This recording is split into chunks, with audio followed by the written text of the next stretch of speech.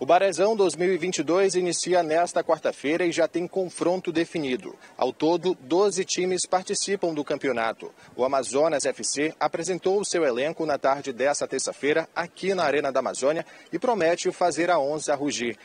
Assim, prontos estamos. Uh, de repente não estamos é, próximos do que a gente considera ideal.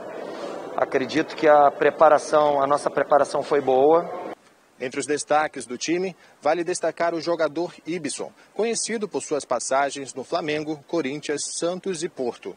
o Amazonas vem sempre muito forte, né? É, as pessoas que estão trabalhando por fora são pessoas sérias. É, os jogadores que estão, graças a Deus, a gente vem fazendo bom trabalho nessa pré-temporada. Então a gente espera que a gente possa fazer isso amanhã, pôr em prática dentro de campo, que que a gente sabe fazer.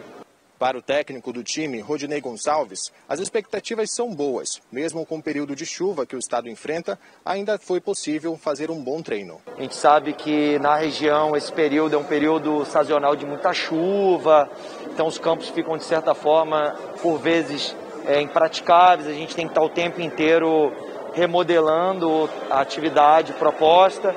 Mas eu acredito que estamos dentro de uma situação é, é, agradável, né?